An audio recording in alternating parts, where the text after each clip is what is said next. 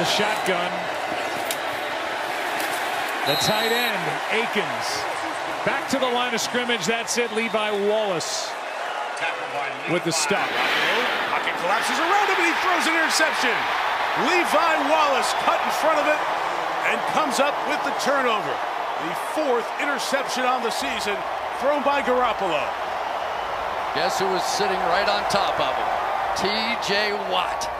Second and 11. Garoppolo's second look sideline. Davante. Minkah Fitzpatrick over on the sideline there along with Levi Wallace. And you can see that Jimmy Garoppolo, anytime you get a receiver this hot, sometimes you just want to give him opportunities, right? And Davante was definitely calling for the ball, got it there. The problem is in that particular coverage, you also are going to take a big shot from the free safety. Fourth and five. Garoppolo finds it underneath. Meyers can't hang on. Back in the game, Levi Wallace breaks it up. And the Steeler defense. Pittsburgh with the lead. Tough to deal with. Their defense gets the Raiders off the field. Gets the ball back. Up 16. Josh Jacobs the back. Pitch. Cut it back inside. Levi Wallace got over there along with Montravius Adams to set up third and goal. They're just so disciplined. Did you see Levi Wallace on that play? He wasn't going to make the tackle. All he was doing was going out here to cut him off, so he had to cut back in to his help coming. That's just the perfect defensive play in that situation. Down the field and put it up for grabs. Adams gets it yards and is intercepted. Wallace gets the two feet down. He's got another pick. And the Steelers are going to come away with the victory.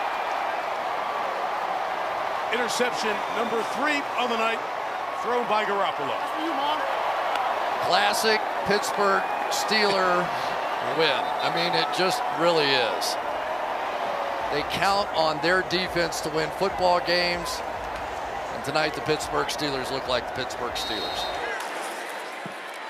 Little fake on the pitch and the pass over the middle intended for Tank Dell is batted down. Excellent coverage there by Levi Wallace, who had that monster game last week in Las Vegas with two interceptions. Stroud fakes the handoff here, fires over the middle, and good coverage that time by Levi Wallace. It's an opportunistic defense with Fitzpatrick and Peterson and Levi Wallace. You can't make a mistake because if it's close, more times than not, Pittsburgh comes down with the ball. Jackson, pocket holds up. He lofts it high, and it's just over the outstretched arms of Rashod Bateman. Bateman a little slow getting up. Another opportunity for Bateman. Can't quite haul it in. He's got the step, and there's a little bit of a hand on the arm, but the official's going to never, they're never going to call anything like that. You're going to have to play through that with Levi Wallace. Good play by Wallace as a veteran. Levis going for it all down the sideline and threw that one out of bounds. Burks was there. He's down, and they'll turn the ball over with 2.06. Wow. One on one. Levis will fire down the left sideline, almost picked off. At the very end there, it's Hopkins playing defensive back. I don't think he's played DB in a while. This is a heck of a job because Wallace's eyes are on the football. Great job by Wallace on that. Out of the pocket, on the move. He will throw it downfield. And it's off the hands of Iosivas. Incomplete. I think Cam Heyward muddied up the pocket pretty quickly for Jake Browning to make him exit to his left. And that allowed the defensive backs to close on the receivers. And if even if Iosivas comes down with this one, he's going to be out of bounds. The hole there. Oh, he's slippery. Look at him go! Carter's got speed. Taken down in the secondary. Brought down by Levi Wallace. That was a run. A burst of 19 yards. So beginning at their one, now they're down to the 48-yard line of the Steelers. Browning dials it up. Dangerous throw, and it's incomplete.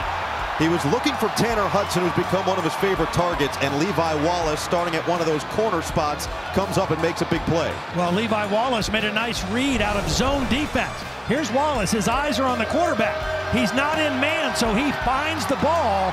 It's Aguilar motioning into the slot, running him right across the middle. They take a look that way. It's a great job. They play man coverage. They create some one-on-ones. Watch this loop around. Watch that pass rush game. Armon Watts pressuring the quarterback right there. That's fantastic. Play man coverage, force tight throws in bad weather.